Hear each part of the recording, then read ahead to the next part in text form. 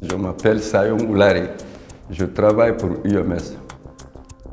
Renault K, je peux comparer comme un éléphant parce que parmi les, les animaux, c'est lui qui est le plus fort.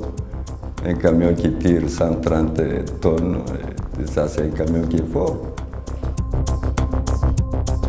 Renault K, la cabine est très bonne, les suspensions de tu peux travailler dans les mines sans. La cabine est très confortable. La chaise, les fauteuils, c'est bien amorti et la manipulation du camion aussi, ça ne fatigue pas. De mine au port, je transporte la bauxite. Et je fais la bauxite, le tonne, ça fait à peu près 137 tonnes. Je fais 4-5 voyages par jour, à 7h, à 18h, 17h30.